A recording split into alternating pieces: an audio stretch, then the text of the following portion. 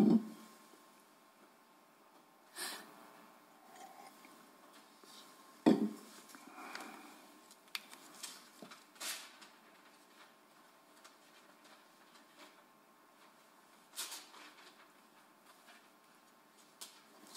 right, Mayor. Okay, we'll try it again. Good morning, everybody. Welcome to the workshop for the Village of Ruidoso Council. If you'll join me, we'll have a moment of silence, and then we'll do the Pledge of Allegiance.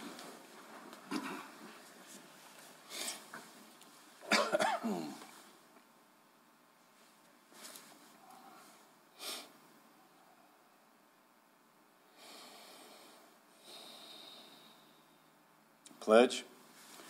I pledge allegiance to the flag of the United States of America and to the republic for which it stands, one nation, under God, indivisible, with liberty and justice for all. I salute the flag of the state of New Mexico, the Zia symbol of perfect friendship among united cultures. All right, good morning, everybody. Hope everybody uh, had a Remembrance Day yesterday of D-Day. And just think about it, 78 years ago today, there were a lot of people dying for the freedoms that we take so much for granted today. And we were remiss, we didn't even really talk about it on the radio sh- show on Monday, so I apologize. Uh, we have some special guests here today, so before we get started, we want to recognize our secretary over here, Ricky Serna. Good morning, thank you for being here. And then, of course, I want everybody to just go all the way to the left. And does that guy look familiar? On the same row? See, Secretary Serna go all the way over. Does that look like a do-over Dodge right there? so, if, if you would stand up, Adam, introduce yourself and where you're from, Adam Dodge. Uh, my name is Adam Dodge, obviously cousins with uh, Tim Dodge. Obviously. Uh, but I work with Workforce Solutions and Economic Development for the state.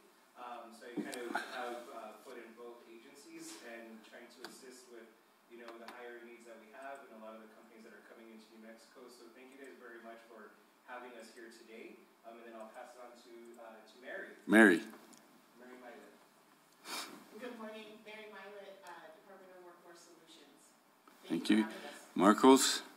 Marcos Martinez, Department of Workforce Solutions. Thank you. And these guys did a presentation yesterday uh, over at ENMU, and we appreciate you doing that. Mayor, and the rest of them, I don't know, they may be my cousins too. I know, there's a bunch of them. You go somewhere, there's a Dodge here, Dodge everywhere.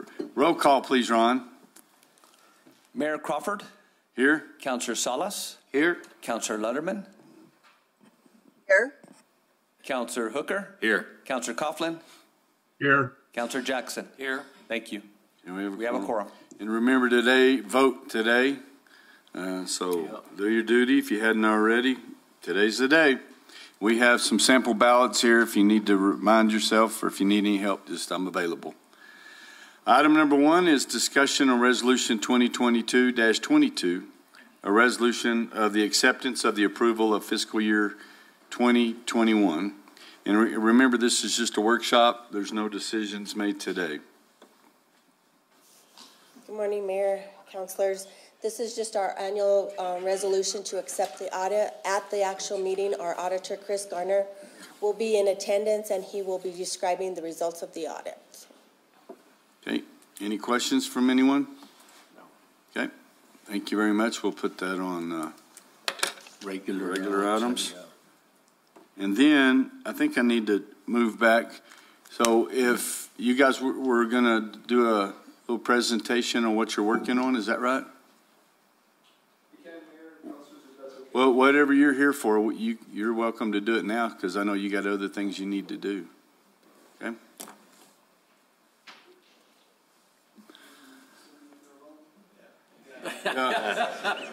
They, they got your back. That's kind of the way it works, doesn't it? When you're the, the- yeah, everybody shoots at number one, so, It's okay, they pick the places to stay and eat and yeah, that's good. bigger good. decisions. Yeah, the big decisions. Um, well, thank you, Mayor, uh, councilors, uh, Mr. Dodge, it's good to see you again. Good to see you. Um, again, Ricky Serna, the Secretary of Department of Workforce Solutions, we've been, uh, Um, We've been trying to answer the question everyone is asking over the last couple of years, and that is where are, where are all the workers? So we came to look for them here, um, and, uh, not, a whole lot of luck. We visited a couple, a months, ago, about a month and a half ago, really just to have a conversation with, uh, uh, mayor, others, business, uh, business owners and, and some other county officials and really drill down into what some of the pressing needs are in terms of workforce. Um, what we're working through statewide is what we call a low workforce participation rate. And that's a, number that's measured nationally and it's measured by state. Obviously, it's the percentage of working adults, 16 and above actually, who are available to work that are either working or looking for work.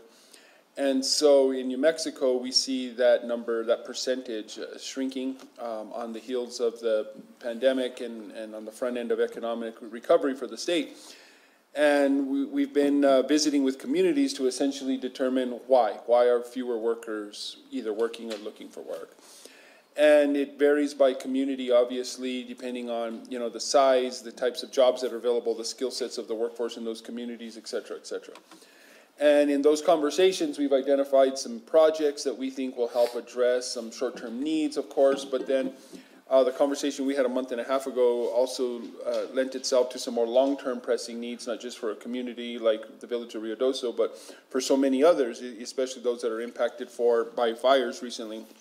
And that long-term need obviously is housing.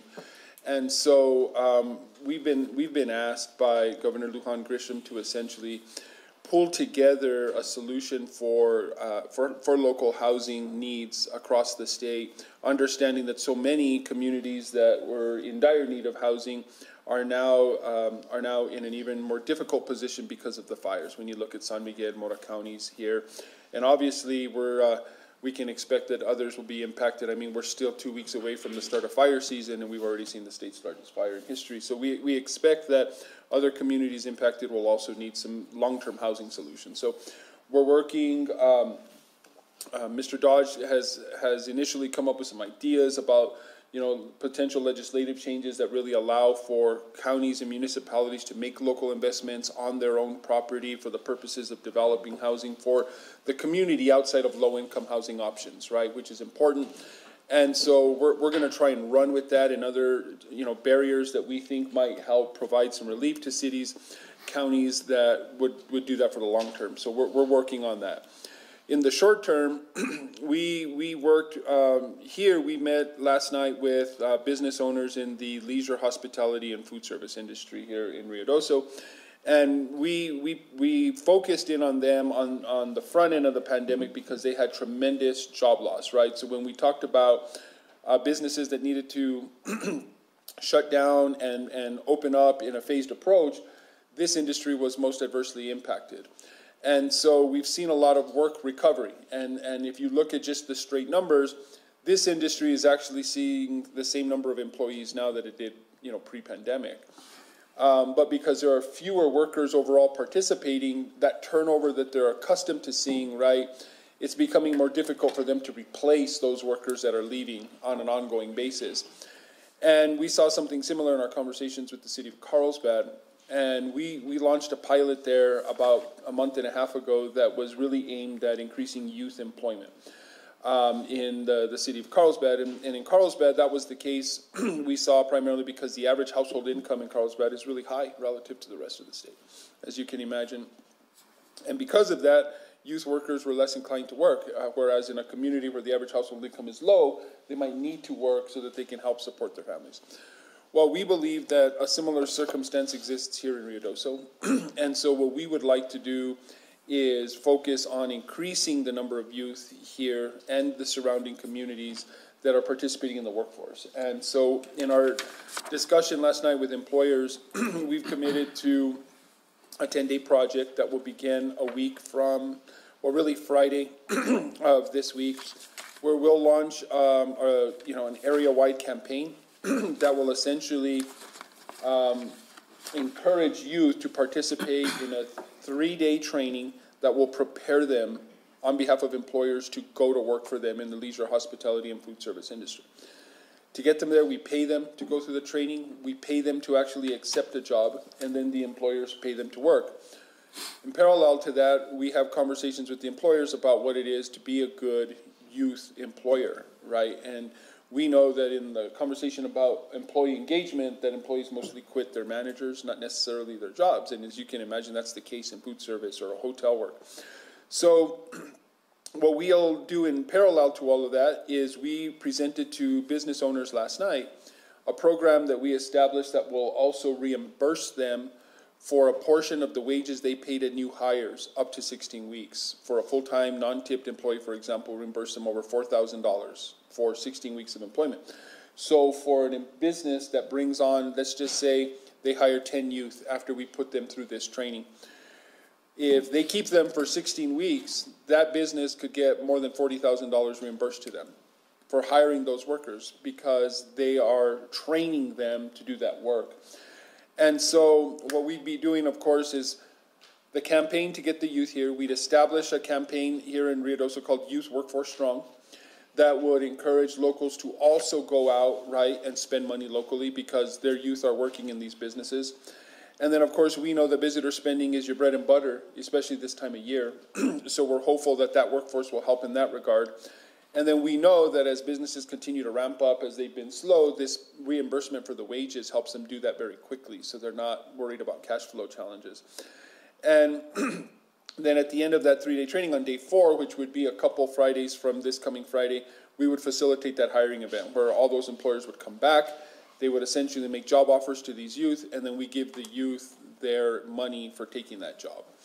And, and by that time, we would already have them um, ServSafe certified, um, Safe Serve certified for food handling, um, ServSafe. We would already have given them their work permits. We would already have trained them on your basic, you know, job skills, and um, they're ready to rumble and hit the ground running.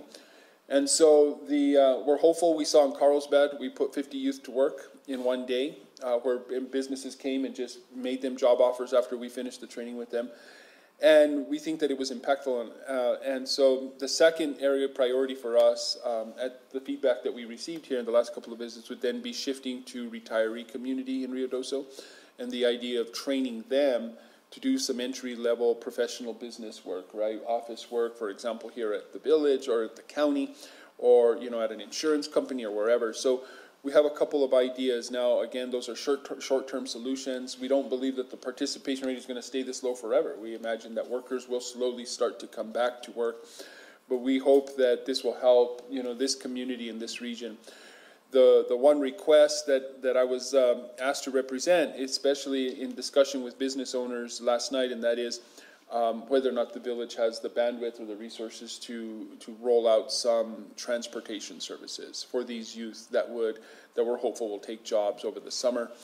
We'll actually be doing some outreach to some of the surrounding communities at Capitan and Carrizozo and Hondo to see if those high school students would also like to participate and work to see if there's transportation options for them to come into the village but certainly to move about the village. Um, transportation is um, is not available except for I think we have one. You all have one Zia shuttle. Trans. Yep, Mhm. that helps. I I understand predominantly seniors. So we can talk more, Mayor, offline about you know what what might make sense and what might be realistic. But certainly, we have resources that might help support you know ramping up in the availability of transportation, and we have resources that would help in transporting students from surrounding communities to come and work here during the summer as well. So um, it's been a pleasure working with you all, and and you know if you think of anything that we can do by way of helping you know with your workforce you know challenges, we're we're certainly uh, available to do that, and you know we'll continue to make this our mission throughout the state as we interact with um, uh, communities about you know what they need and, and where they need for this administration to support them. We appreciate you coming down and what you did yesterday. Could you touch briefly on uh, your certification or uh, for the 15-year-olds that, that that's available? You know, you have to have a work permit at 15, and they're going to be setting that up over at ENMU sometime. That's right, Mr. Mayor. Um, what we'll be doing is, um, so the Department of Workforce Solutions for the state is responsible for the administration of work permits, right? So if you are 14 or 15 years old, you need a work permit. And we learned last night that that's been a little bit of a, you know, a maze um, to navigate. So We'll be cross-training and certifying a significant number of staff over the next week so that, again, any 14 or 15-year-olds that participate in our training will walk out with their work permits, but for moving forward, we'll be sure that there's several of staff, several staff available, especially now that the school is out for the summer. We'll have staff available where the counselors might otherwise issue those permits, to make sure they're available and and easy to obtain. We appreciate what you're doing. I mean, it's nice to see you guys being so responsive. I mean, uh, you inherited a monster, I know. Uh, it was a bad time to be, get that position, so. Anybody have any comments or questions? Mr. Mayor, I just had one. Uh, Secretary Serna, as part of their training, as they're coming through and talking about 16-year-olds and older, does that include a server's license as well, since that really ties into food and beverage and serving? So they'll have their food handling, um, certificate is what they'll have when they leave. Um, I'm not sure what the circumstances are. Are you talking about like alcohol servers? Right. I'm That's not su- 18. Yeah, it might be an eighteen-year-old provision, not to say that if we need help, for example, we partner a lot with the Restaurant Association. If that were to become a local need and we needed to hammer some out through a class, we perhaps could be, you know, coordinating that effort as well. And the other reason I bring it up is because of the changes in the liquor laws and so many of the beverages or restaurants that have just food and beverage limited license now are going to a full license. Right. And you usually have the server doing all of it. Yeah, we, if, if we learn that just facilitating the availability of that would be helpful, then we could certainly try and get that done. Thank you. Well, I, I want to appreciate, I know you have a full agenda. I saw it this morning. It actually took like ten minutes to download from the internet, so, um, maybe it was just a slow connection, It's June. thanks for your hospitality. We appreciate being here. We'll be back obviously several times in the next few weeks, but, uh, if there's great. anything you think of, I, I know the mayor knows how to get hold of us. Great. Have a great day. Thank you, Mr. Secretary. Appreciate you guys. But it's nice they're working hard to, you know, work on these issues that we've been working on locally. But I want to call on the manager uh, to maybe discuss a little bit because in the meeting I was there yesterday, you heard people that although they're in the community, they're not in the community. You know, we've worked diligently for a long time on workforce housing, Samantha. Because we, we recognize that. We've worked on transportation, so the village, we have an agreement with Zia Trans. We are working with the reservation, the tribe. Uh, Now then, we're trying to start talks with the county for them picking it up and, and also to encourage the, um, the city Ruidoso Downs to stay active on that and, and make more frequent stops. And also to uh, uh, cater more to the uh, hospitality industry because a lot of the, the transportation services stop, uh, you know, around six o'clock in the evening, and a lot of the folks don't get off until twelve or later. And so those are some hurdles that we're working with. But this is uh, Samantha Mendez. She's our uh, um, Community Development. Community Director. Development Director. She's been several things for a while, but she does a lot. So she can give us a quick update on what we're working on right now. Mayor, um, Council, uh, Secretary Serna, um, you know, I want to give you a quick update on where we're at working on our housing initiative. There are some um, things, uh, hurdles that we've overcome, and we've been working very closely with the New Mexico Mortgage Finance Authority um, and uh, the Department of Finance and Administration. Um, Rodney, if, if, um, before the secretary leaves, if you can have a brief discussion with him on those transportation um, opportunities that may be out there, and then we can, you know, see what we can do. We, we like to get things moving quick. So Rodney, if you could follow up on that.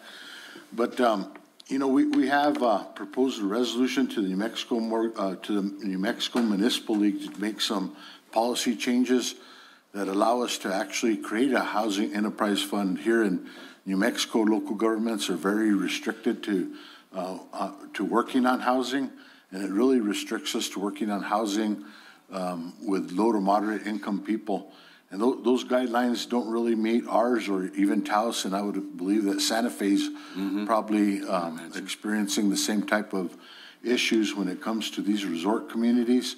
So um, the New Mexico Mortgage Finance Authority uh, uh, is charged with administering the Affordable Housing Act. So um, they've actually made a determination and working with us to allow us to work within 140% LMI. And what that looks like is, is for um, a family of four, that's right about 90, $93,000 of income per year. So we've been working with them on a scope of work. Um, Samantha, I can't see that too good, so can you read that off if you don't mind? Yes, so our scope includes to create a housing enterprise fund to develop long-term rental housing in the form of seventeen manufactured homes initially to be placed on a property acquired and held by the Village of Ruidoso Housing Trust to be leased to the dis- displaced families of the McBride Fire and long-term to be used for Ruidoso's workforce housing initiative serving households up to hundred and forty percent LMI in accordance with the Affordable Housing Act. So th- this project, what we're looking at, we've identified a property, and uh, we're going to be um, uh, looking for approval on the, on the acquisition of that. Um, You know, the zoning certification we're working on should um, happen on, on June 10th. Uh, We're going to the uh, Planning and Zoning Board for their consideration. Uh, The adjacent property owners have actually reached out in support of the project, so. Good. So it's, uh, it's, it looks good so far. Um, we're currently working with White Sands Construction under a CS contract for the site development. And, uh, you know, the preliminary plan should be in on June as well. We're already under contract for the, um, transportation part of it, the permit. Um, DOT has given us a permit to access that property, the driveway permit. Uh, the design should be complete by, um, um, July first and the site development by August first. So that, that's our goal is to start rolling in homes, um, as of August first. Currently, we're under RFP for both management services and then for bid of, of the mobile homes. So far, we have, or not mobile homes, but they're modular and manufactured homes that we're looking at. And, uh, you know, those bids are due right now. There's 14 companies throughout the state of New Mexico that are engaged in this process.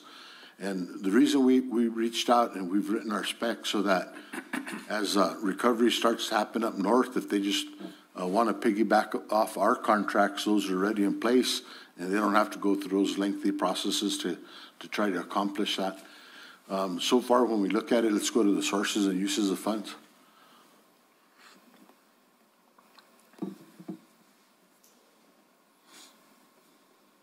When we look at the,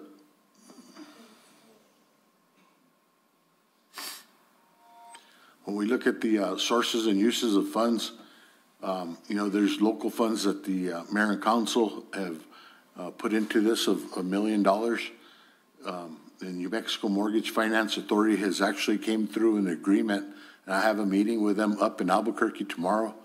And we're going to be sitting down and, and working both on that and the policy that governs the fund that we've created. Uh, they've actually came in with uh, $480,000. And then um, DFA through uh, Secretary Romero and the governor, they made um, an appropriation of a million dollars. And uh, we have a legislative appropriation from Zach Cook. I don't know who he is, but I think he's sitting right next to me. Representative Cook put in uh, 980,000 during the session. So, you know, I'm not going to go through um, every single one of them, but we're looking at, at three-bedroom option, two and, and one uh, bedroom options. And, uh, you know, I think those, those numbers that we're looking at that we've plugged in are, are pretty high. Um, and as we go to, let's go to the next spreadsheet, Sam.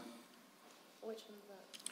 If you look at those, those costs of development, if it's hundred and eighty thousand, and we're just, on this sheet, we're, um, anticipating that the mobile home cost was, was at one eighty, if we plug that figure in, and that's, that's probably like a three-bedroom, um, it, it shows that that, uh, development cost, or the purchase price and development is one eighty. Uh, we amortize that over twenty years, and then we, uh, you know, plug in the property management and other operational costs, we should be able to provide homes right for about seven hundred and fifty dollars. So on that, what would the square footage average be? Would that be a twelve hundred square foot or? Um, they, they vary, Counselor, and, um, I Well, don't, but I'm just saying for a three-bedroom, what would that average be? um, I, I don't recall off the top of my head what it. Well, they have a decent sized living area and then the bedrooms were like twelve by fourteens and some were eleven by fifteens and Yeah, most of them are sixteen wides on the singles nowadays, so. Okay. And then. um, sixty yeah, feet long. the- Some of the manufactured homes that we're looking at, you know, there's like, uh, the dimensions were like thirty-two by forty-eight and, you know, so it just, there's a whole lot of different products out there and until we get the bids in, Uh, We'll come back and we're going to be requesting a special meeting of the mayor and council, you know, sometime after um, our regular meeting, probably the week after that, so that we can sit down, um, approve the resolution that we're working on that creates uh, the Housing Enterprise Fund, is Right. what we're calling. I it. know that. I was just curious of what size houses that Yeah. were And then- modulars would be going in there. And then you all be making the selections on which houses, which dimensions, and which properties we'd be placing them on. The first seventeen go to, um, you know, the eleven fourteen property, and then we're also working on a site development plan for six oh three Meacham. So the, the whole, um, you know, uh, thing behind us is that when, when we look at these first seventeen that are coming in, they're, they're really to try to, uh, place the victims of the McBride fire in there first. And, um, we're gonna, uh, be working with them to make sure that they're signing up with FEMA. And if, if they do qualify through FEMA, then the first eighteen months does become, um, a recoverable cost through FEMA. And if they don't, then we're gonna start making that available to, um, affordable housing for, you know, people that are at hundred and forty percent LMI and below. And, um, you know, and not to exceed thirty percent of their annual income. And in, in addition to this, we're, um, setting aside, and you can see there, we, we're calling it a housing initiative of, uh, fifteen percent, um, of the rent that they pay goes into a fir, uh, homeownership program. And part of that home ownership program, they're gonna have to go through some credit counseling and, you know, those type of, of, uh, classes that will help bootstrap them into homeownership. So, um, it's, it's, uh, we're moving forward on our, on our program, and I think we're creating a model that can be used up north once they start moving into recovery as well. And that's, that's one of the biggest issues, workforce housing is an issue that a, a lot of communities throughout the state of New Mexico have been facing. So, you know, working with the Mortgage Finance Authority and DFA, I think if we can change the way that we're doing things, then we don't end up in that same old, um, cycle of, of trying to get it done and not having any solutions, so. Mayor and council, I'll stand for any questions. Secretary Senna, if you have any questions. We've also set the policies for this already, and we're gonna be visiting, uh, with the New Mexico Mortgage Finance Authority to make sure that we're not violating any, um, statute, statutory authorities that we have, so we'll be covering that tomorrow. Tim. All right. Hey, Tim, I, I'm wondering on the hundred and forty percent LMI, since the governor has now increased, um, for childcare up to four hundred percent of poverty levels, is there any wiggle room in that, uh, hundred and forty percent? Uh, Mayor, council, we can pose that question to the finance, the Mortgage Finance Authority. Um, the authority is the one that uh, statutorily has the, the authority to work on, uh, the affordable and, and to administer the Affordable Housing Act. Anyone else? So a lot of these initiatives we've worked on for years, but looks like we finally have a shot to get one started. And then uh, NIMBY's not talking right now, so we're going to take advantage of all of that. So, okay, we'll move on then. Thank you, Samantha. And we'll get back with our regularly scheduled program. Um, Discussion on resolution, item number two, 2022-23, adopting a credit card policy according to requirements of Department of Finance and Administration. I didn't mean to run you off earlier, but That's okay, no worries. Um, Mayor, um, councilors, in conjunction with the submission of our fiscal year 2023 budget, DFA has required that we present a credit card policy to them that they can approve. Um, it has to be in conjunction with, um, the payment card industry standards where that if we have credit card numbers that are stored, they have to sub- submit to red flag re- regulations and we have to make sure that we're storing them. All the payments that we take through Encode are stored within their software, so we are good on that. Um, so this is just bringing the policy up to council so that I can submit it to DFA. Okay, anyone else have any questions? The one fifty fee, I, I Thank you, kind guys. Kind of recall that that was always the fee amount. Was So it? when you go through our website and you actually pay your, uh, um, card there, um, that's when you get charged. Right. However, if you come in the door, we don't charge you. But didn't we always charge one fifty when you did, we didn't? Okay. It was just on the online, uh, Oh, maybe that's right, okay. Mayor, um, on page two, um, it defines taking the credit cards over the phone. And then down onto page three, it talks about in person. In person, the second sentence there says, um, staff is prohibited from writing or storing card information. On the via telephone, it just says that, um, payments should be, uh, the the only payments that can be taken over for, oh, the information will be directly input into the credit card machine. I think in that one, we should also add something about the information should not be, um, uh, the staff is prohibited from writing. For yes, writing it yes, down. okay. Somebody could handwrite the card number and then input it into the machine. And then that, that piece of paper could fall, you know, whatever. Yes, I will add that. Okay.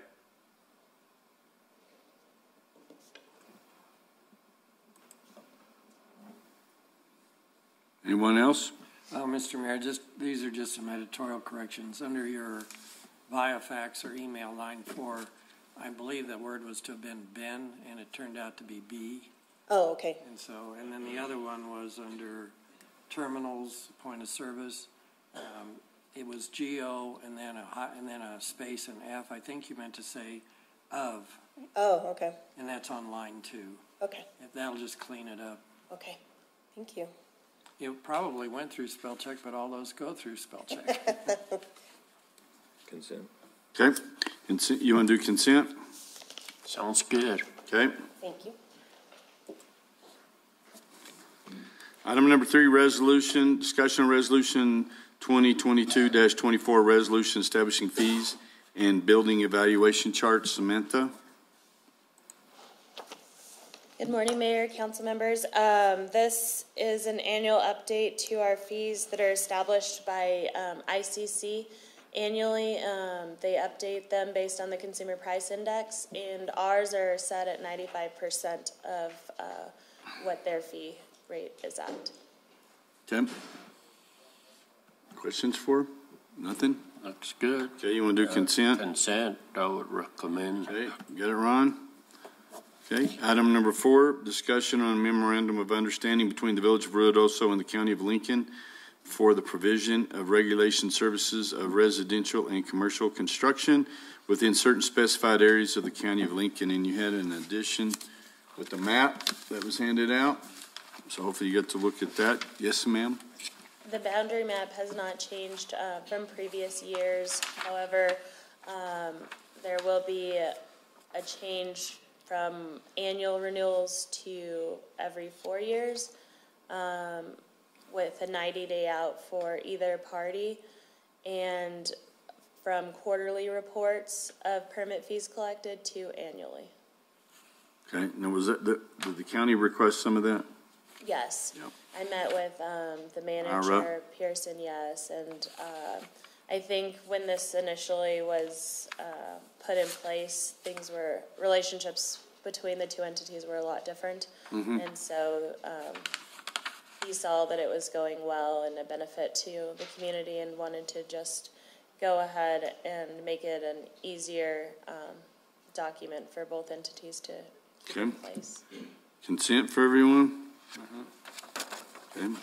Item number five, discussion on third renewal agreement with the Ruidoso Valley Chamber of Commerce for professional services for operation of both the Ruidoso Visitor Center and the Billy the Kid Visitor Center. Adam, who's speaking on that one? We don't have any changes to this, and this is the final renewal of the agreement. Were we gonna, Mayor and council, um, um, we're recommending, um, approval of this one and then, uh, prior to the, um, visit, um, funding? The Heritage Center, um, we'll be, uh, revisiting their contract. Oh, the, the, yes. Okay, and then we have a issue over there that we were discussing. I know that we've made provisions for the Billy the Kid Travel Center. We're Um, gonna be discussing some options on that. We, we have, uh, um, that, that's, that's within the budget. They have made, um, the arrangements, and they've hired a person to take care of the uh, janitorial services for the facility. Okay. Consent? Good, yes, sir. Item number six, discussion on resolution 2022-25, a resolution approving the acquisition of real property located at eleven fourteen Mechem Drive, Ruidoso, New Mexico, in Lincoln County. Mayor, um, council, uh, I would, uh, we do have an executive session Okay, planned today, so we'll be discussing that. I would recommend that be a regular item. okay. Item number seven, discussion on contract amendment number one with Cutler Repaving, Inc. through resurfacing and curb line milling on Gavilan Canyon Road, uh, Warrior Drive, and Paradise Canyon Road, increasing the contract amount by two hundred seventy-four thousand, seven hundred twenty-one dollars, fifty-three cents, including gross receipts tax. And you can explain that one. Everybody probably already knows. Uh, this is due to inflation of cost of materials for the project. And the petroleum products, so. Yep. Okay. And so we'll leave that on like a regular. So Mayor, just a, a brief, you know, for additional information on that, Mayor Council, um, the escalators actually on the oil cost had, had gone up. So what we did, uh, we sat down with the Cutler repaving and we looked at the, at the milling and we're able to, uh, negotiate with the transportation and then the placement of it. A lot of the millings, not all of them, will be placed on, on the shoulder, so we're gonna be doing some shoulder improvements. And we ordered, uh, some additional tack oil so that we can, you know, place the tack oil, uh, place the millings, and then, uh, roll and compact to improve the shoulders within the project. That'll be that- good. That ended up saving us on transportation costs and then helped us bring, um, the project within budget. Okay. So we'll do that on, Mayor, yes, ma'am. Do we, we have to pay for that whole two hundred and seventy-four thousand that comes out of our, our pot? Go ahead, manager. Um, Mayor, uh, Counselor, it, it eventually, it, um, comes out of the total project cost. We, we had appropriated, uh, three point five million dollars for this project. So the, the escalator is actually covered within the allowable funds. Within the three point five, Correct. Okay, Stop. thank you. you got it? Okay. Yes, thank you. Okay, item number eight, discussion on contract with Cutler Repaving, Inc. through the New Mexico statewide price agreement, number ninety eight oh five nineteen one six seven five nine for pavement resurfacing and curb line milling on the upper Sudderth roadway in the amount of one hundred eighty-two thousand, four hundred twenty-nine dollars, twenty-five cents, including gross receipts tax. And does everybody know what we're talking about? Mm-hmm. Okay, and why we changed, because we initially, uh, Josh was gonna do that. There he is. Mayor- Mayor, um, Council, if I could give a, a more of an explanation on this whole project. Our, um, our map project actually goes all the way from, um, Grindstone and Resort all the way to the, the circle on Resort.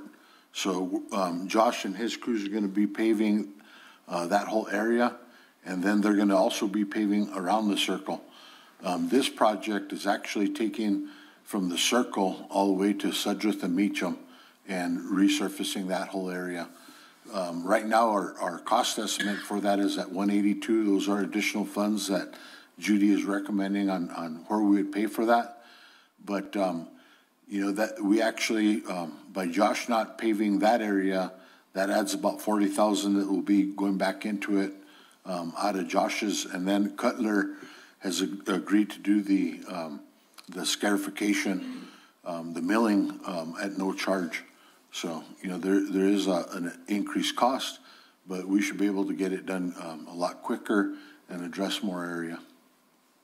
Uh, Mr. Mayor, uh, Tim, are we on hold right now with the fire restrictions on paving? No. Um, Mayor, Council, um, the mayor did issue an executive order giving, um, staff a direction that any ongoing construction projects, if they, um, do have, uh, any type of fire risk, that they have to visit with the fire department and with Dick Cook, and we would come up with a mitigation plan for that.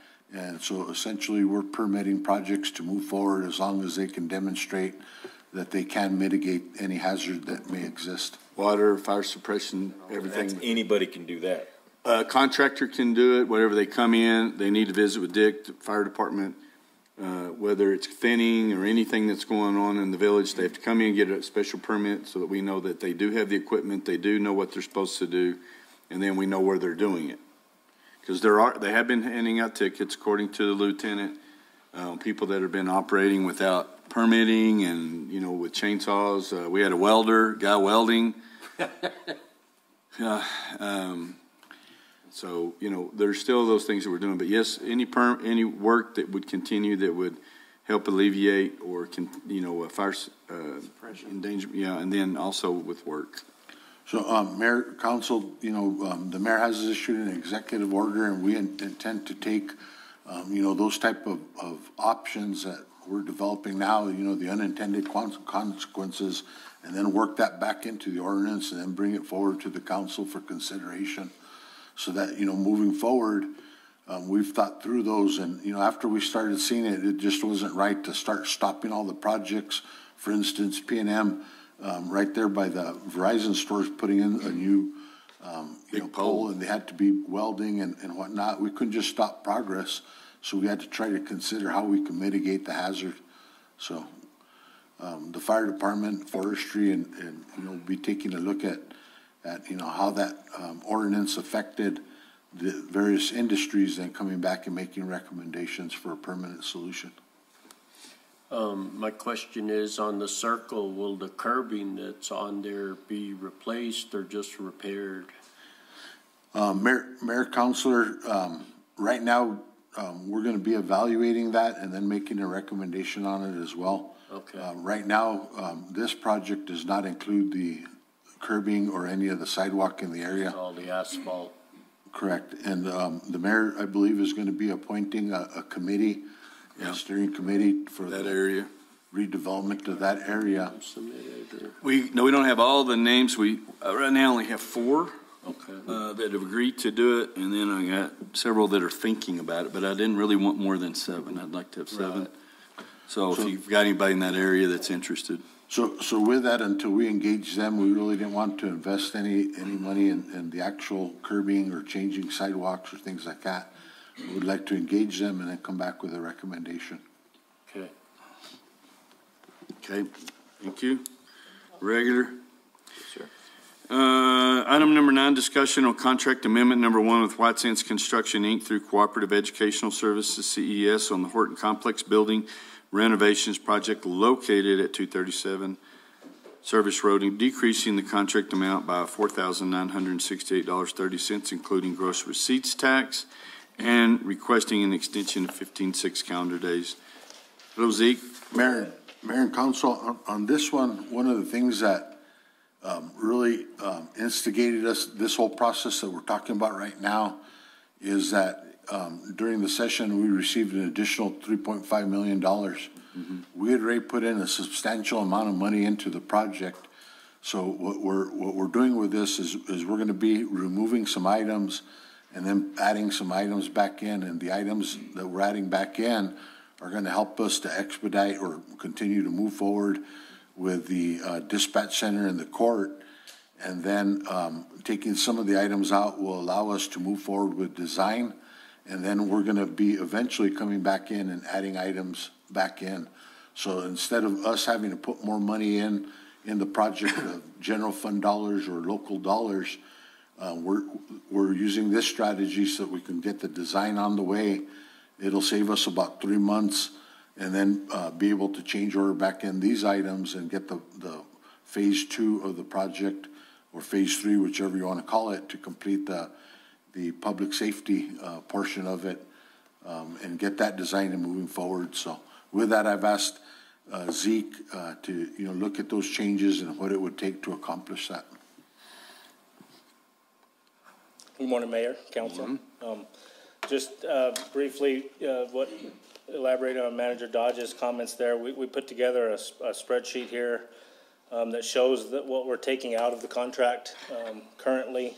Basically, uh, we're gonna credit the landscaping, um, asphalt paving in its entirety, uh, and, and the fencing, um, which is all included in the contract currently. Um, Taking those three components out of the project now uh, frees up the funding to uh, do the, the ads, which are uh, on the spreadsheet as well, including the Phase Two design um, and some other uh, interior renovations uh, or revisions, I guess you could call them, um, that we've been working on as well on the interior. So um, I, I stand for any questions. Everything, I think I submitted everything to Ron. He's included in the agenda there. So um, if you've got any questions on any particular item, I'll, I'll be willing to answer, answer those. Well, I appreciate you guys being flexible and working with us on this. Yes, sir. Anybody have any questions? I do not. Okay, thank you very much. Do you want this on consent or regular? Consent. Okay, Mayor Y'all been- Crawford, Mayor Crawford, yes, on the two Cutler items, seven and eight, were those uh, both regular? those are both regular. Okay, thank you. Item number 10, discussion on uh, MOU between the Village of Ruidoso as fiscal agent for the Lincoln County Ruidoso DWI program and Linda Hand to provide funds in the amount of $30,000 for prevention specialist services for the DWI program. Yes, sir.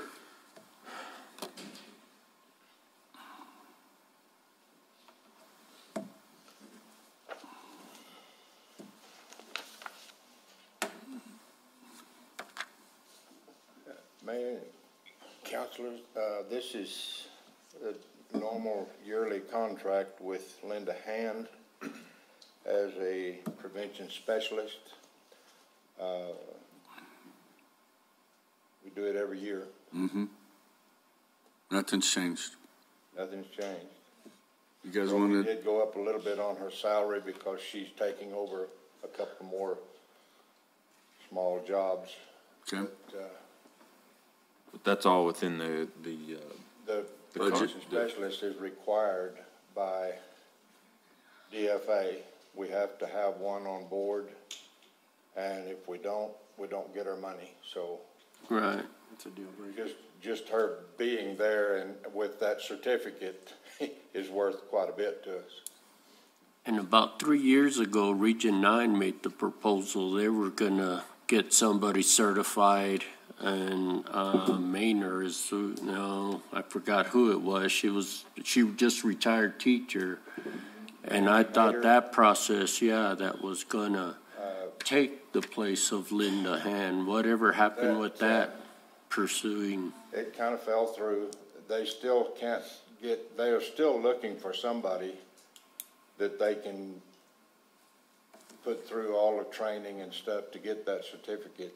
And it takes about two years, once you find somebody that's willing to do it and wants to do it. Right. It'll take them about two years to achieve that. So, uh, Linda was going to re- retire this year completely. And I talked her into going two more years with us.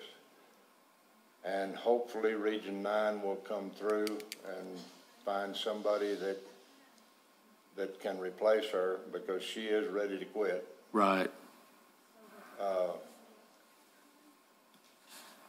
I, I don't know how that's gonna turn out, but they are still working on it. consent? Yes. yes, sir. Okay, item number 11.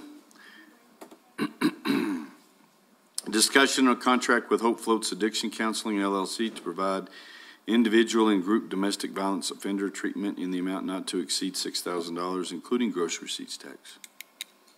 Uh, This is, last year we had a contract with Hope Floats with uh, the grant money that we got refunded. Mhm. And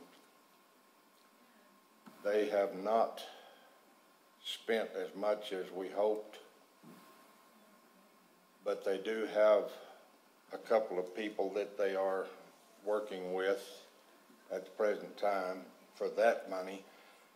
Uh, I lowered it to six thousand this year because if, well, this treatment program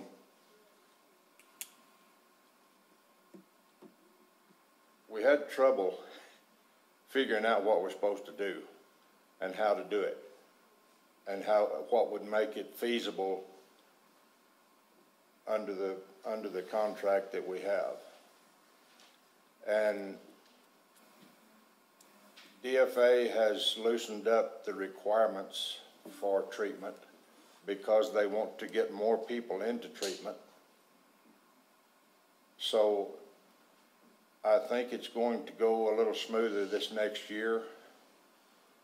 Uh, we kind of know what we're doing now and, and we know a little bit more about how to achieve the goals that we set for ourselves. And, but I lowered it to six thousand initially because I am planning on getting another, I mean, I'm gonna have to send back some money this year because we didn't spend quite as much as we thought. And I'm planning on getting that back in September. And I'm gonna put that against treatment, most of it.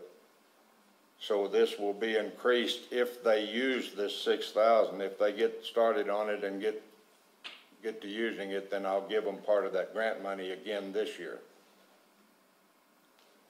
Okay. Does this include the next item too, in the same funding process? Yes. Okay. What was the previous amount? What did you reduce it from? Was it ten thousand? The initial, the initial, You from, said, from the grant from last year for Hope Floats was ten thousand. yeah, okay, that's what I thought I remember. Okay. All right. Anyone have any questions? I think you explained it. Consent. Consents? Yes. Okay. And then the next item is uh, with Capitan, or the way the secretary, Capitan? Capitan Therapy and Behavioral Health LLC to provide individual and group domestic violence offender treatment in the amount not to exceed six thousand dollars. So uh, that's the same song, second verse. Uh, yes, sir, this, we gave them fifteen thousand last year. Mm-hmm. And they have spent, they have had a, an ongoing group therapy with probably between, depending on how many show up that week, between three and six people for the last several months. And we're gonna turn in an invoice probably in the next few days for all of that, which is, hopefully will amount to quite a bit of money. But I did the same thing with them that I'm doing with, with Hope Floats. I'm initially giving them six thousand dollars and if they start working on that in July and start spending it, and it looks like they're gonna be successful with their program, then I will increase it out of the, out of the grant money that I get in September. Okay. Mr. Mayor, will, Mr. Henson, will that be enough to make up the shortfall? I know we're, and you're anticipating an unknown, but I'm just asking, only because of the base amount, if it needs to be higher or not, that's my question. Will you have enough in your reserve capital to fund a shortage if you need it I with should- these two programs? I should have, yes. Thank you. Okay. Consent? Yes, sir. Yes. Item number thirteen, discussion on memorandum of understanding between the Village of Ruidoso as fiscal agent for the Lincoln County Ruidoso DWI program and Region Nine to provide funds in the amount of forty-two thousand dollars for the Protecting You, Protecting Me prevention classes in the schools in Lincoln County. Mayor and council, this, this is the same amount that we gave them last year. Uh, I, I met with them about three weeks ago, and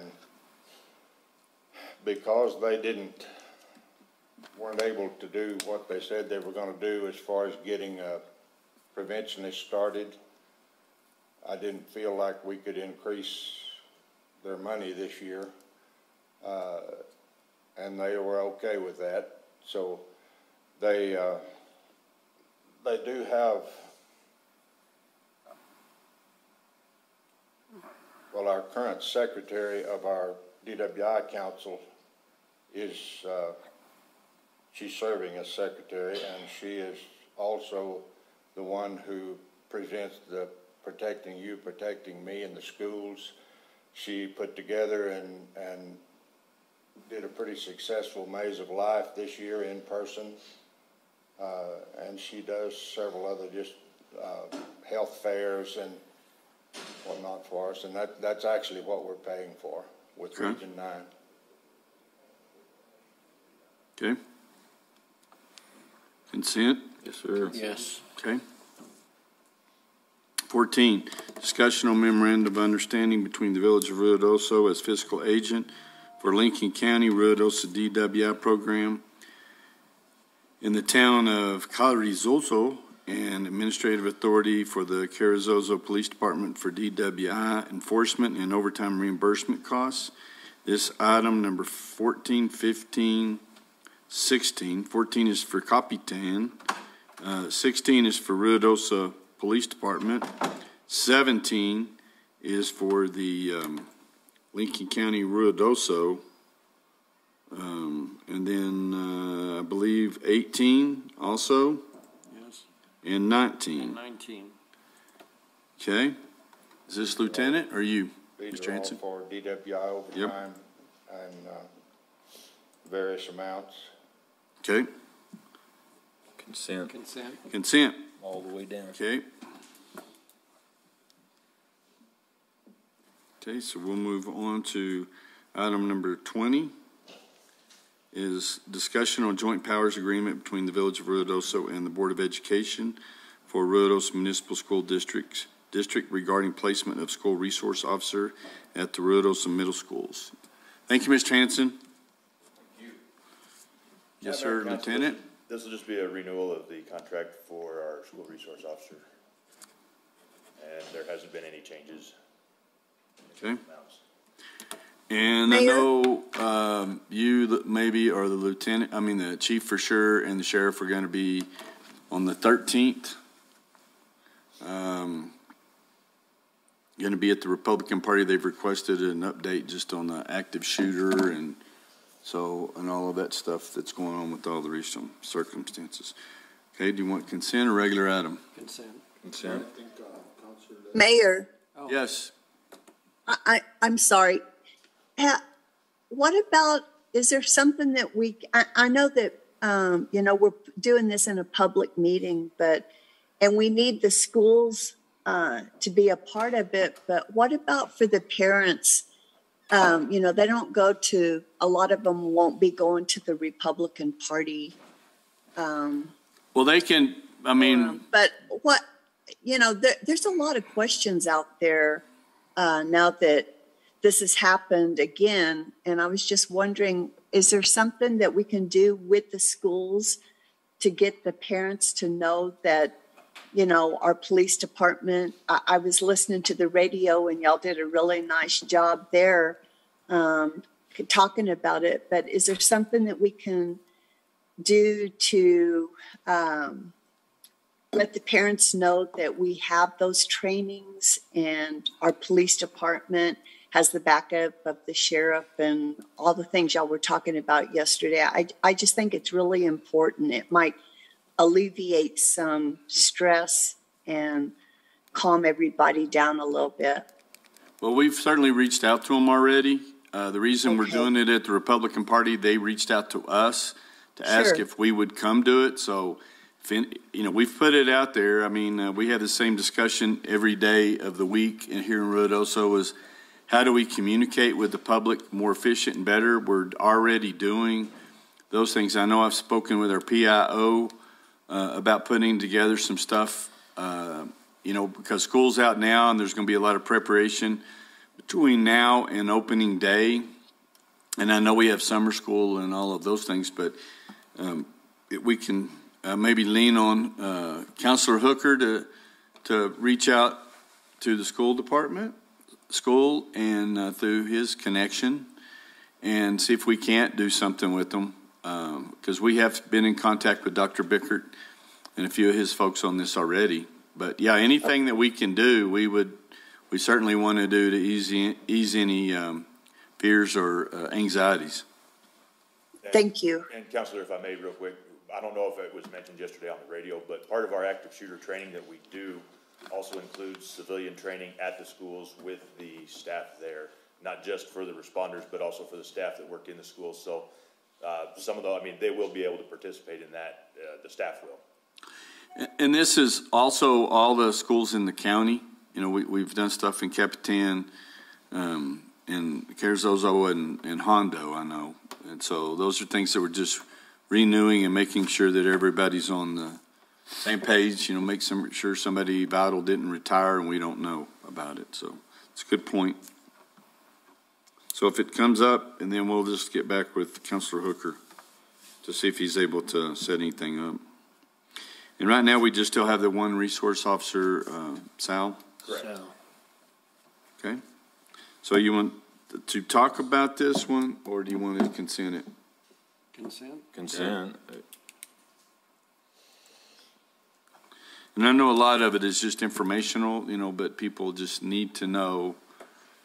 Um, and, and I honestly haven't had any calls on it. I know uh, the chief and I have been talking about it, and then with the Uvalde thing, because of COVID, a lot of it went on kind of a hiatus. And then when Uvalde and something, I forgot what the one, something happened before, and it's a shame that they get so many of them, I can't keep them in order. But he had reached out to the sheriff and was uh, talking to the other uh, police departments in the area and was getting things set up. And then Dr. Bickard uh, had asked that we, you know, continue once in school was getting close to being out, that we would work on it in the summer months and then be ready to go at the first of the season for school. Well, and I know I get I get comments from parents wanting to know specifically what will happen in the event of and, you know, I explained to them, it's kind of like a football team isn't going to give the playbook to the other side. Um, there's certain things that have to be kept in house. Sure. Um, because otherwise you get these people with ill intentions knowing exactly what's going to happen.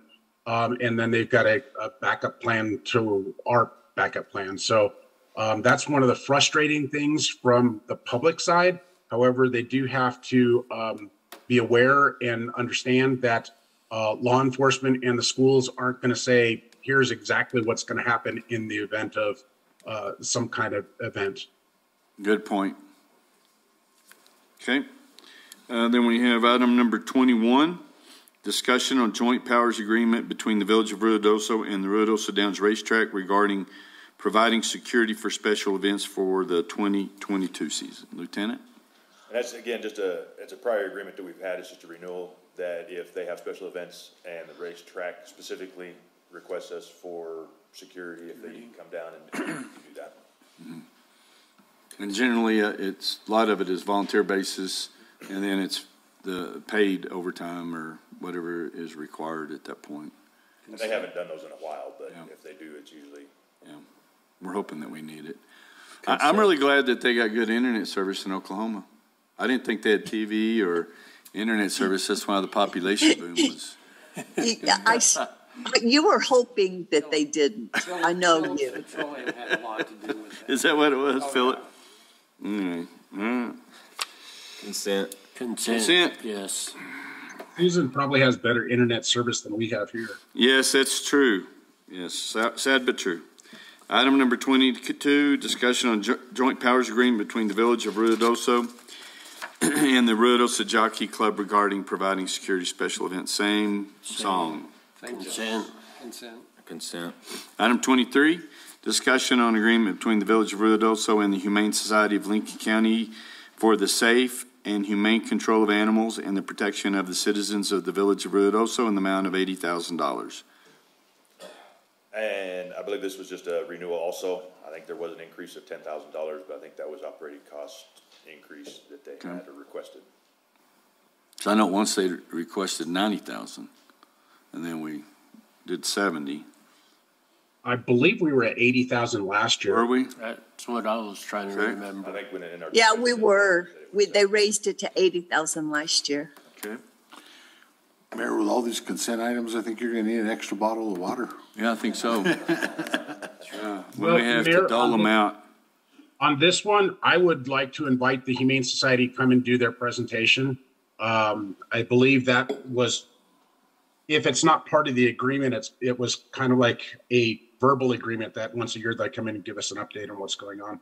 Okay, so do we want to put this on regular item or have them present at, um, Mr. Mayor, I would just have it as a regular item and have them. Have them talk about it. They'll have a little more exposure to the community as well. That's what they're doing, what, what it's for. Because they've had some big change-ups with having had their mortgage relieved and, and now it's operations and all of that. Okay. All right, is that good with you, Councilor Coughlin? Absolutely. Okay, uh, item number twenty-four, and if you'll reach out to Abel. Item twenty-four, discussion on assignment of lease agreement between Cliff Row and David Stepp for land lease, uh, for hangar P six with the Village of Ruidoso and the Sierra Blanca Regional Airport. Austin? Good morning. Good morning. Thank you, Mr. Mayor, members of the council. Do you guys have any questions regarding this agreement? Nope. Pretty standard. Okay, but you are working on, uh, some sort of a program where they can figure out how to, um, put in like a restroom or water and all that stuff coming up with that? Yes, sir. Okay, so we want that consent. And then, uh, I want you to go ahead and put together some more names of people you want out there, because I've got a couple, and then we'll go ahead and get that com- um, council, committee, whatever going. Item number twenty-five, discussion on task order C, attachment to professional services agreement between the Village of Ruidoso and Armstrong Consultants, Inc. for further description of services of engineer to reconstruct runway twelve thirty and reconstruct taxiway B and connector taxiways. Twelve thirty is the one that runs east and west, the North and south. north and south. Okay. Okay, what do you guys want? Consent? Consent. Consent? And I like to think that, who was it that did all the trimming of the weeds? The Parks and Rec or, or Uh, you guys? It was or Marty's team. The, the water guys? I think so. Yeah. Yeah. Well, we- I appreciate those guys. So we're reaching out, we're changing that, where the leaseholders are supposed to take care of their own stuff. And then we'll just, uh, send Dick out there to get, or have him give them a warning and then push it through the process, because that's under their responsibility. So thank you. Thank you, Mr. Mayor. Item number twenty-six, discussion on sub, uh, grant rece- sub recipient grant agreement with the State of New Mexico Department of Homeland Security and Emergency Management for fiscal year twenty twenty, building resilient infrastructure in communities BRIC to update local multi-jurisdictional, multi-hazard mitigation plan in the amount of seventy-three thousand five hundred dollars, zero cents. So Sir this Chief? is- This is, Mr. Mayor and Council, this is their grant um, through Homeland Security and FEMA to update the multi-jurisdictional hazard mitigation um, plan that we have here. It's due to be renewed by July of next year of 2023. So we actually put in for this, started the process of this grant process back in 2020. There, we were told we were going to have the money by July, Ju- January of 2022, and they're just now getting us the funding notice right now, so we're gonna be a little bit behind the ball.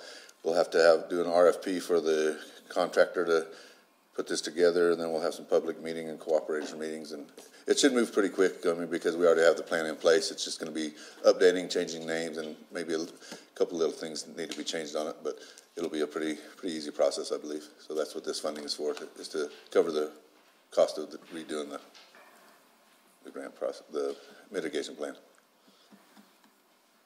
Okay, does everyone understand this? Yes. Yep. Anything else? Consent. Consent? Consent? Okay, thank you, Chief. And then, uh, we'll be getting hopefully a really good update on, uh, the, uh, what do they calling the fire? I can't ever pronounce. it. Senegita Fire? Senegita Fire? Are we gonna, I have to say it real fast, Senegita Fire? Uh, so are they gonna have an update on that today where we know, I know we have, uh, top one equipment and top three JWs on it, McCoy. Yes, sir. So, so as of last night, the, the update that I got last night was, um, it was at fifty-six percent containment last night. They have, um, three hand crews on it, three, three type, three hel, three type one helicopters. I mean, three type two helicopters, one type one helicopter, and the type three team is actually running the scene.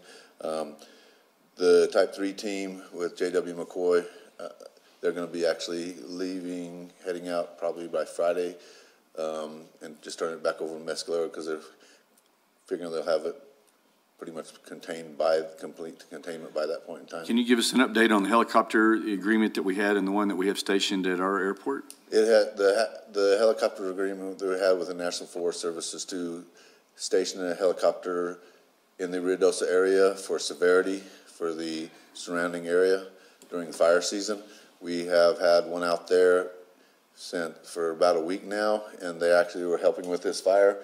They're gonna, so they've been actually stationed over at Mescalero by the Big Game Lodge.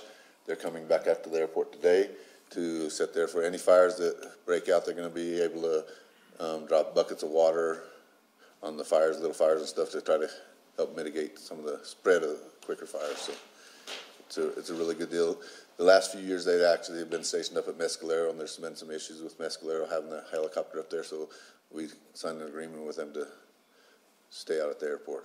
And is it true that actually one of our local pilots spotted that fire first and called it in? I believe so. I'm not sure which one, but I, I know that was one of them, and they're, they're, and then when they were out there, they found a couple other fires Mhm. out there that were, they were all lightning f- strike fires, Mr. Mayor. And there was a total of four little fires that they found. Two of them were a little bit bigger than the other two, but they, uh, this is the last one that they're working on right now. So if I may, along those lines, Mr. It probably would have been a question for Austin, but Chief, I know you can answer this. Uh, in going back to your statement, uh, it was a local pilot that, that observed the fire. Is there somebody in the, I don't know, it's not a tower, but in the airport terminal that's monitoring the radio during certain hours of the day?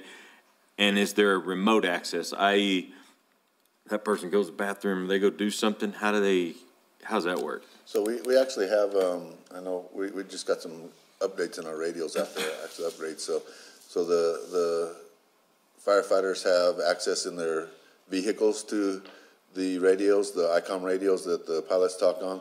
Our FBO has it, we actually have put radios in the housing area, housing quarters now, so they can, they can be home at night out there basically, and in their quarters, and they can hear the pilots coming in and out as well. So then do they get, the furtherance of that, do they get training, this fireman sitting there and somebody talking airplane, airplane language, are they gonna know how to answer and that, hey, I'm supposed to answer this?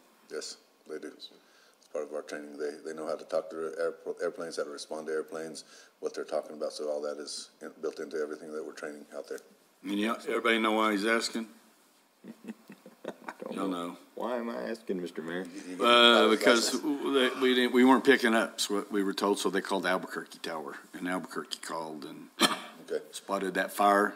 Uh, That's why we know. And we're not trying to call anybody out, it's I'm just- not, now he is. I'm not Yes, he either, I'm is. I just told him to asking, be is there a nice. follow-on?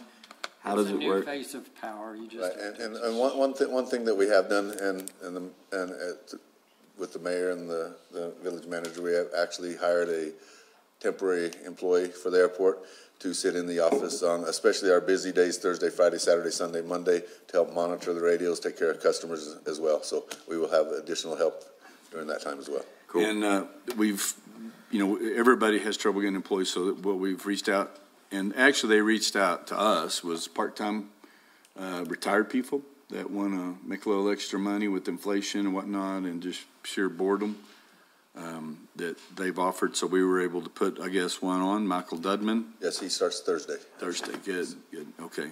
We appreciate that. And that. then there are times that uh, the guys might be out dealing with, both of them tied up with a, a plane, and they may not be able to hear the radio, so that, you know, there, there may be a little bit of disconnect there occasionally. We try to have them have their radios on it, but you're around a hel, hel- airplane or something with their engines going, they're not gonna hear anything. Sure, absolutely. Uh, Thank you, Gentlemen? Yes. Uh, Eric Boyd, uh, number twenty-seven, discussion on joint funding agreement twenty-two RGJFA twenty-three with the United States Department of Interior, of the Interior, United States Geological Survey, and for the operation of USGS streamflow and precipitation gauges with the village cost share of fifty-four thousand one hundred and eighty-nine dollars.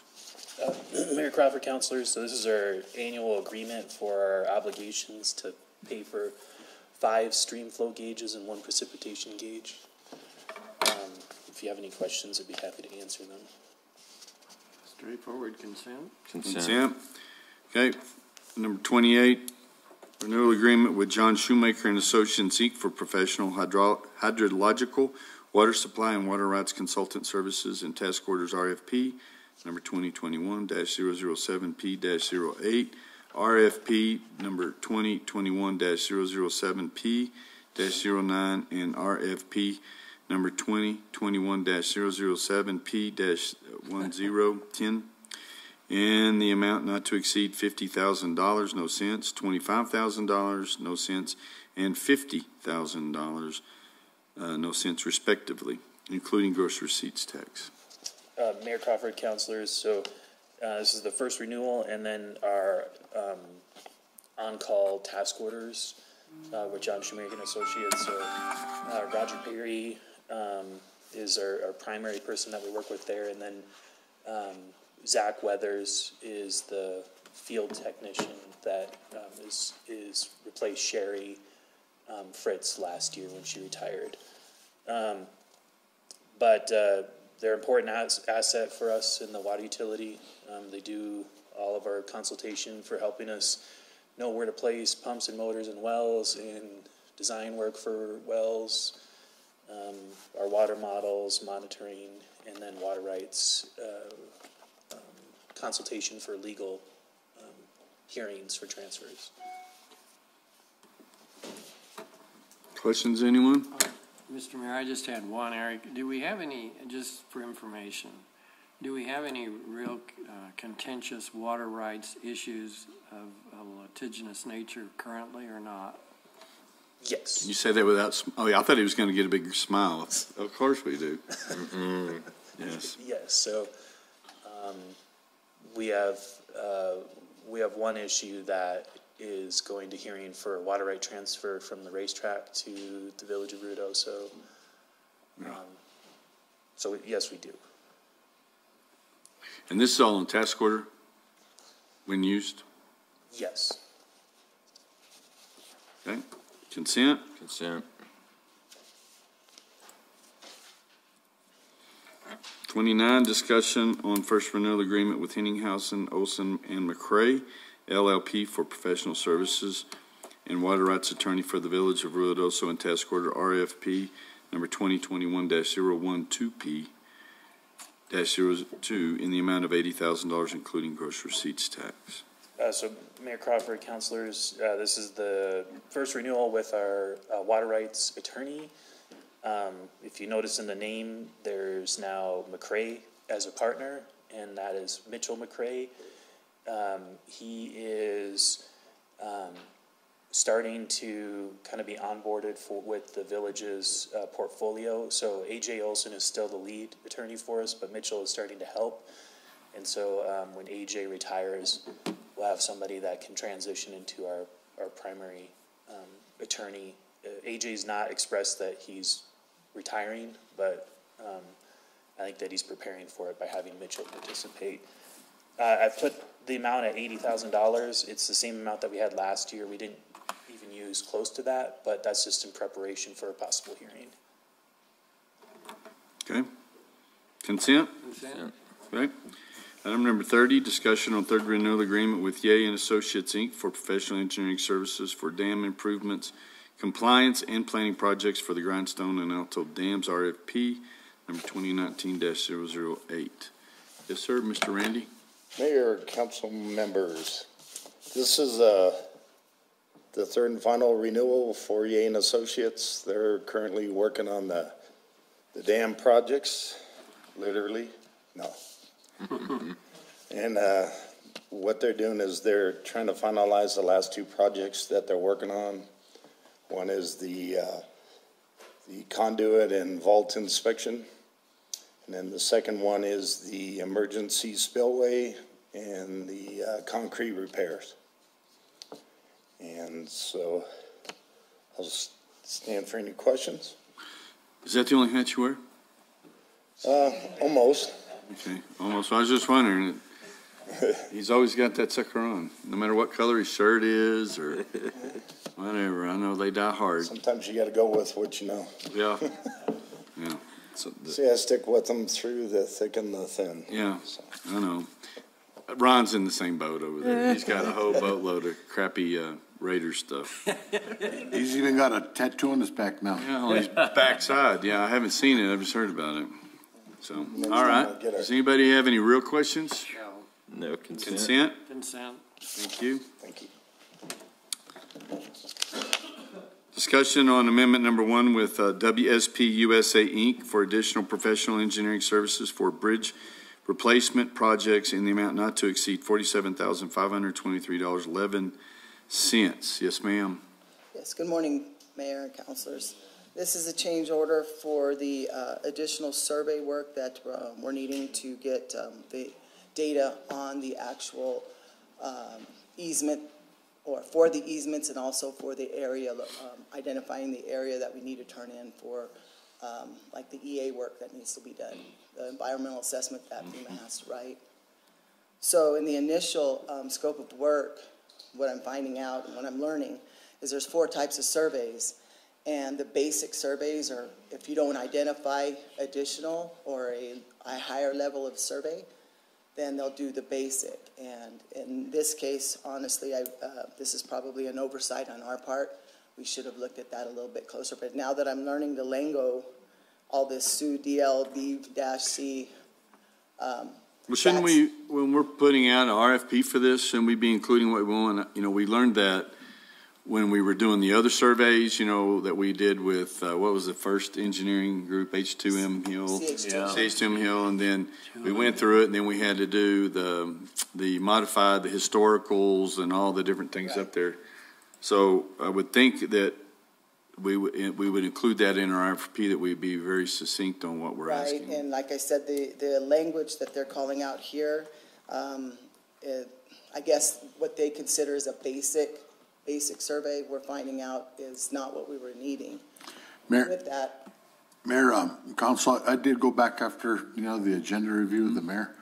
Um, I did go back and, and visit with Karen and, you know, when we, we look at the whole process, when we set up an RFP, you know, we don't have the level of expertise in-house.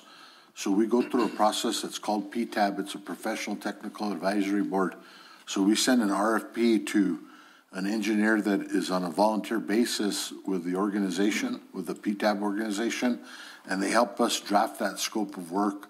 So in, in drafting that, they just called out a basic uh, uh, survey.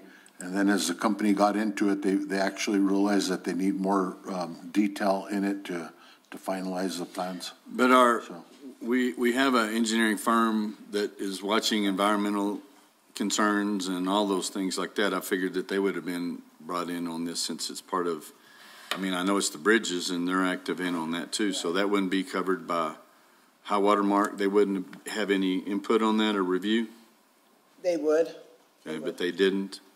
They didn't. I, I, I'm assuming what it, um, what, when we discussed this, is Mhm. that, uh, the review that happened, the, all the marks, there's a, like a little, um, um, template that we mark what type of, uh, services we're requiring from an engineer. In the draft form, all the right boxes were checked, but when it went out, they were not all included Okay. on that type of survey, and that's the first part of the survey. The property, um, that, this is in reference to the corner searches. As far as the, um, uh, the survey that's needed to identify the underground utilities, that's separate. That, that is, uh, uh, something we're gonna have to do as we were, um, anticipating above-ground And, and Mayor Council, this, this, uh, project isn't a capped project either, so. Okay, it's This not. would be a reimbursable cost. Yes, and it didn't hold up our um, submittal for the hundred percent design or anything, and um, we are currently in the stages of trying to coordinate those, uh, a meeting with FEMA and DHS, um, Department of Homeland Security, to come down and do an on-site review for the hundred percent design. So with all that they have on their plate right now with the emergencies, uh, we're still trying to uh, coordinate that meeting. Okay. Well, thank goodness it's not a capped project, but I, I'm getting really frustrated at all of these, um, all of these specialists and all these companies and all these engineers that we use, and they always screw up and forget things, and then we're on the hook for it. So uh, it, it's just getting really frustrated, and nobody wants to take responsibility for it. I agree. Okay, so where do you guys want number thirty-one? Consent or regular? Regular for information, I think. Okay. Thank you. Item number thirty-two is discussion on change order number five with General Hydronics for Cree Meadows Trail in the amount of fifty-seven thousand, seven hundred and seventy-one dollars, sixty-five cents, including gross receipts tax. Good morning, Rodney, and, and these guys are really receptive to increase in change orders this morning, Evie. Oh, God. I know. Good morning, Councilors. So, um, this change order is, um, in reference to the Cree Meadows Trail project. It covers, uh, work that was previously completed and additional work. And as far as the work that was previously completed, um, the work was completed at the time due to time constraints, but with the process, it wasn't, uh, pre-approved. Um, some of that work that was, um, completed was during the project, it required a, a realignment. And due to that realignment, it required additional staking and it required additional excavation. Well, the process um, from DOT is, is so specific and um, everything has to, to be pre-approved. If you had to wait for the pre- pre-approval, there's, it, it just would slow down the project. I mean, um, it would delay it beyond, it would be very unreasonable. And so we completed the work to try to keep them going. Well, that project, that particular work was not pre-approved, so there, it wasn't, um, covered under the reimbursement, uh, process. And so that work completed is a total of thirty thousand plus GRT. Um, again, it was staking, um, extra, excavation, and then there were three driveways while they were paving um, that were not, they were originally not paved driveways, but um, during the project, we thought it would be best to have them paved, so it was from the trail, um, connect, between the trail and connecting to uh, Cree Meadows Drive. There were three driveways again, while they were paving, we elected to have those paved. But again, with the process, it wouldn't be covered. You would have had to wait and, and uh, stop the project, they would have to come back and repave. Anyways, we're asking for that to be, um, covered by the Village of Ruidoso. And then the additional work, um, there is still, uh, work to be completed on cleaning out of culverts, uh, cutting out a, a non, um, functioning culvert, um, extending and, uh, excavating an extension of a culvert and then removal, removal of a culvert. A Couple of these culverts were not, um, they were not visible during the design process. They were covered up with, in some areas, up to two feet of dirt. And so as they performed the excavation, they found out the culverts were there. Well, they're still, um, they're plugged, and so those need to be cleaned out. So the total for the additional work is twenty-two thousand plus GR, or four forty-one plus GRT, with the grand total of all that work coming out to fifty-three, two seventy-six, forty-five, excluding the GRT. Okay, and the money's coming from general fund, the additional. Okay, any questions? Rodney, on those culverts that were buried and, um, and packed full of dirt and so forth, uh, so those basically weren't working. Was everything fine in that area? Or now we're going back and we're gonna basically excavate that, that plugged culvert and install a new culvert? So is that necessary or were, were there issues that were occurring because of the condition of those culverts prior? As far as I'm aware, there were no issues prior. Um, that, that bar ditch had just silted in over years. Um, they're not going to be replacing the culverts. They're just going to be cleaning them out to make sure that they're operational. So not only did they clean the area where the culvert was, but they cleaned out the entire bar ditch. And so now water can run down that. It was probably before running just right on the edge of the road instead of now where it's like two or three feet away of the road in the ditch like it should be. Uh, did that So answer then- your question? So, well, it, it does. So then, could that be something rather than paying somebody else to do it? Is that something that our street department could do in house? Because I know they've done, they do that all the time. I would imagine that they could do that. Mayor, my, my recommendation is we have so much going on. I know, that's- Contract it out. Yeah, they, they've got the paving and all the other stuff that they're trying to get to. I don't know when they'd ever get to it. Okay. Okay, well, do you want this on consent or regular?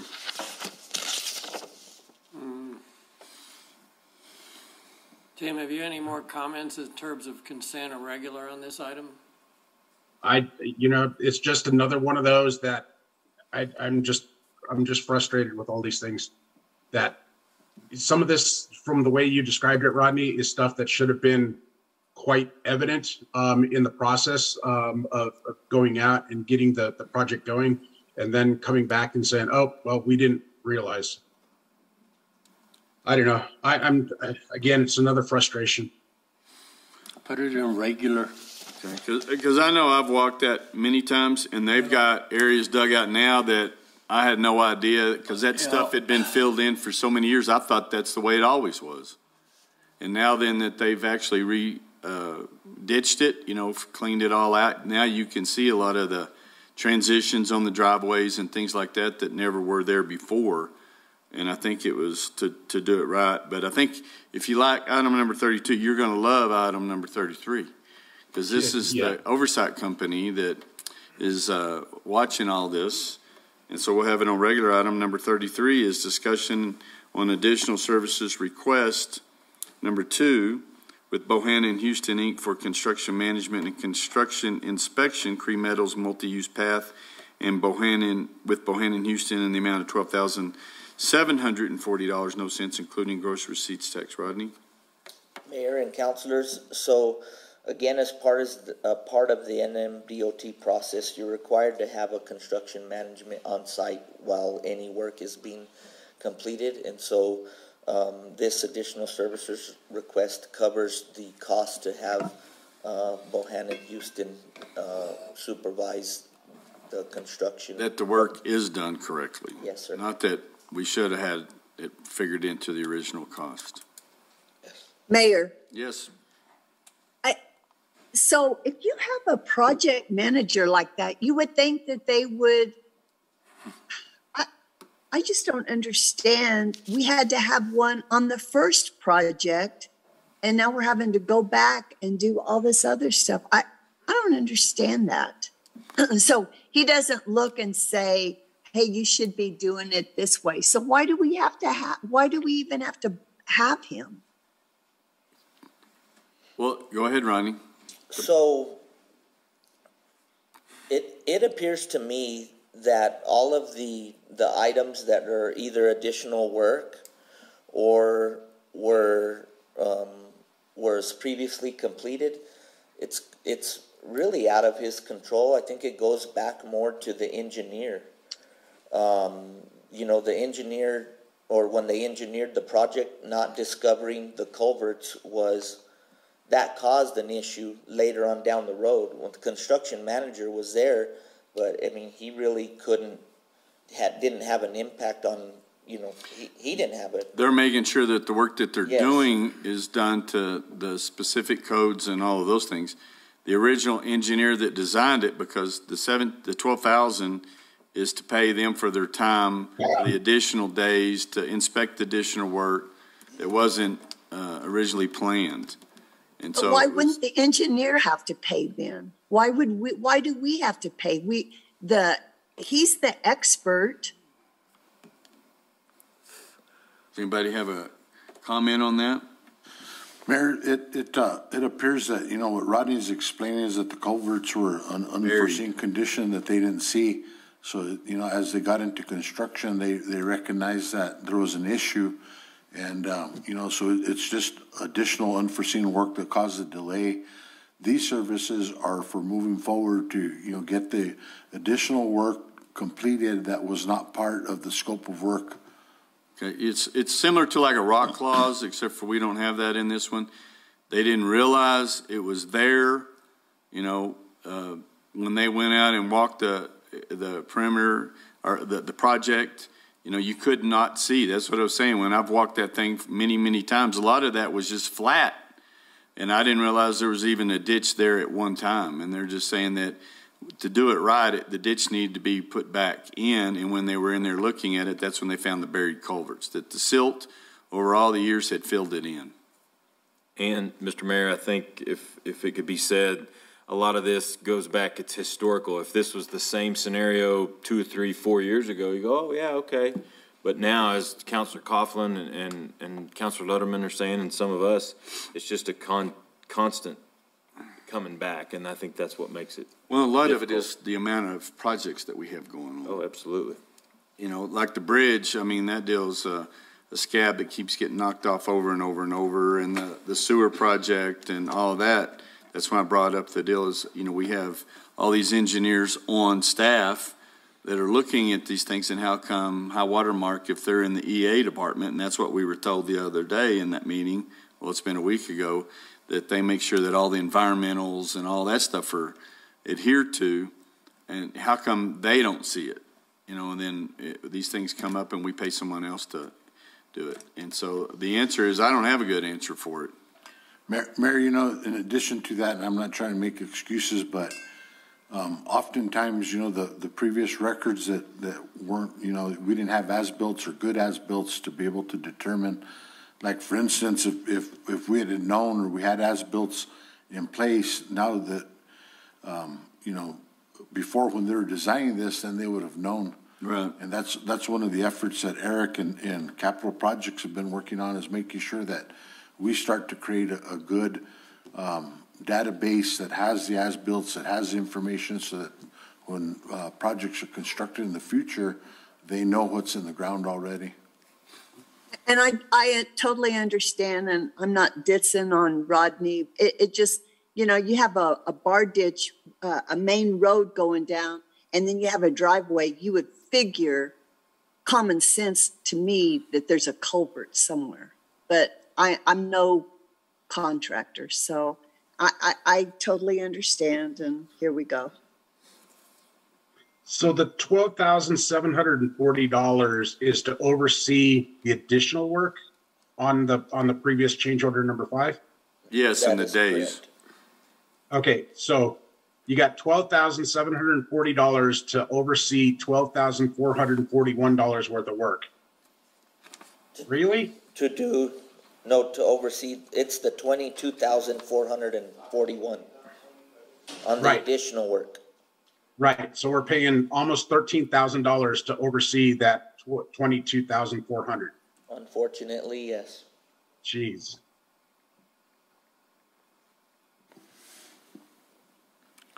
And it- Mayor- that's, Mayor, that's Council- based off of pricing on an existing contract that we have with And it's, uh, Bohannon Houston. And the time to complete it, it's more related to the time to complete it. Yep.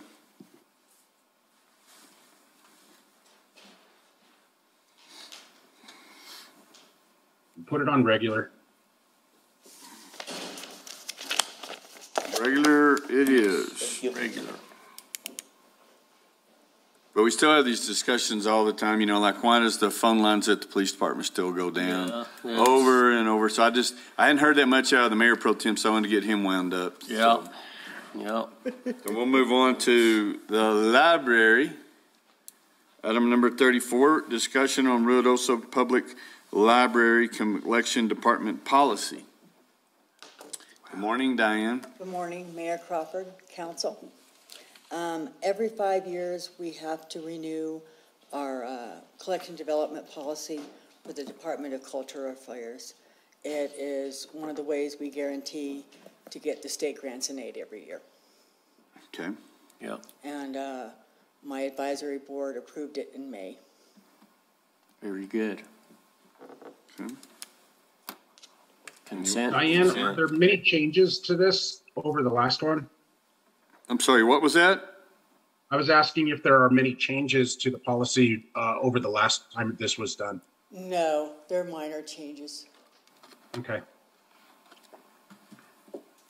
Okay, item number thirty-five, discussion on the FINRA Investor Education Foundation, the Foundation Grant Agreement number twenty twenty-two LDR eleven for the purpose of enhancing the library's personal finance collections in the amount of five thousand dollars.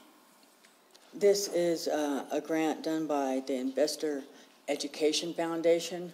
Um, It's about finance, and uh, they will reimburse us up to $5,000 for the items we purchase that have to do with personal finance. That is in the areas of debt management, budget, retirement, estate planning, those kinds of things. For the public, Yes. Yes. okay? Program. So do you want to Consent? Consent? consent it?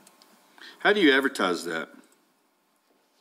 Uh, Actually, they reached out to us. How do you talk to the public? How do people pub- know about it? Uh, What we will do is we'll let them know that we are updating our finance. We will do it um, either in a post on Facebook, or we will do it um, when we do another newsletter. We'll Well, we're getting ready to do one, so f- we'll make sure that we put that in this one, and we, you need to get it in there pretty quick, because I'm already getting bugged already. Man, they are getting really wicked on that. There's still over a week times left, so. Yeah. I'm, I'm gonna set up a meeting with, with Jillian and, uh, we have an admin reg when, you know, certain items are due. Okay. But yes, I, I think it's a good, um, if you can submit, um, you know, to Yvonne, a- an article on that. I'll do that. Yep, so we can get it in there, so- so we can get it in this month's newsletter. And I was just kidding her. They're like, you know, they I mean, call it's- me, or do you have your stuff ready? Do you have your stuff ready? And it's like, what, well, the other one, I hadn't even got the other one yet. Have y'all? I It, just it got came my in the email mail yesterday. Got it yesterday. Yeah, Yeah. so they were whipping me like a It- brand new it's- pony. It's good to get us on, on track with that. I, I even forgot last month, they, Yeah. The deadline was a couple of days away and, and Carrie said, you got your articles ready? And I said, oh man, I completely forgot it's that time of the month. Yeah, she said she was gonna ride me like Seabiscuit until I got it in. I liked your response too. Yeah. I was direct and to the point. I wasn't quite as elegant as a wordsmith over here, but I did get the point across. Discussion on uh, lease agreement with Teresa Corn for radio tower property. Yes, sir, Mr. Tim? Councilors, so this is a, t- renewal of a two-year agreement, um, for the property in Ruidoso Downs on which the FCC chartered, um, tower stands that we inherited when we got the radio station.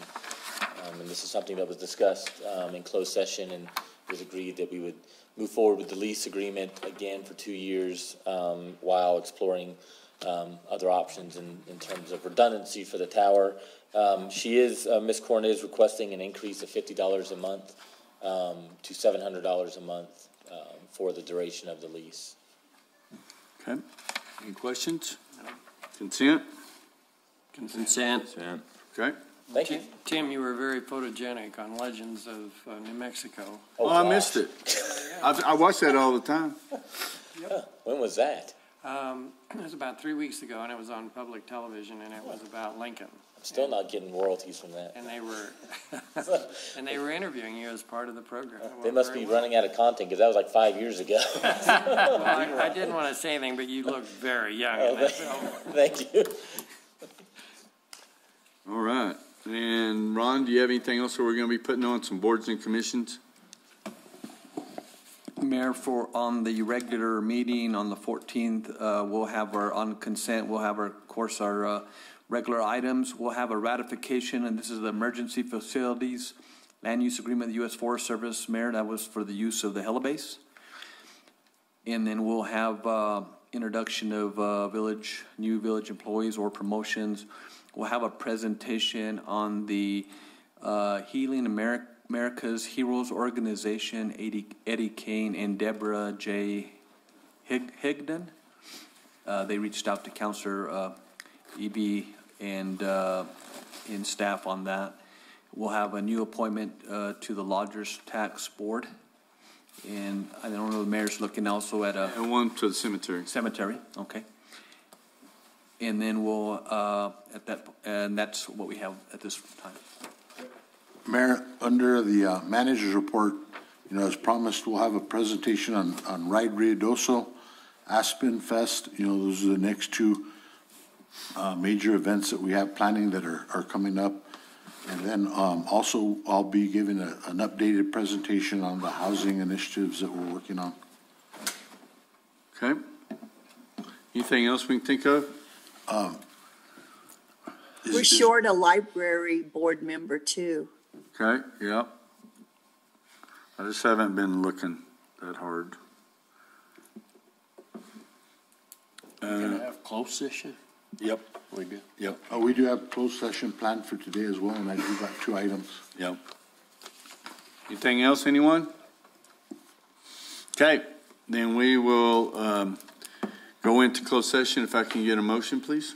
Mr. Mayor, I move that we moved into closed session for discussion of limited personnel matters citing 1015-1H2 NMSA 1978 and discussion subject to the attorney-client privilege pertaining to the threatened or pending litigation in which the Village of Ruidoso is or may become a participant, citing 1015-1H7 NMSA 1978, and finally, discussion of the purchase, acquisition, and/or disposal of real property and/or water rights by the Village of Ruidoso, citing 1015-1H8 NMSA 1978. Any action taken as a result of the closed session will be brought back into open session, and I so move. Second. Discussion? Okay, now how are you gonna get, uh, Tim and, uh, are you gonna call them, Tim and Susan on? Okay, so y'all, I guess he's gonna call you on cell phones? Okay, We'll, we'll have uh, two reach out to both the councilors on the phone by cell. Okay, all right, so Roll call. roll call, roll call, please. Councilor Jackson? Aye. Councilor Hooker? Aye. Councilor Coughlin? Aye. Councilor Salas? Aye. Councilor Lutterman? aye. Thank you. All right, we'll be calling you guys quickly. And you didn't think we was gonna get done by ten walked down, just, you know, security contract, signed statement.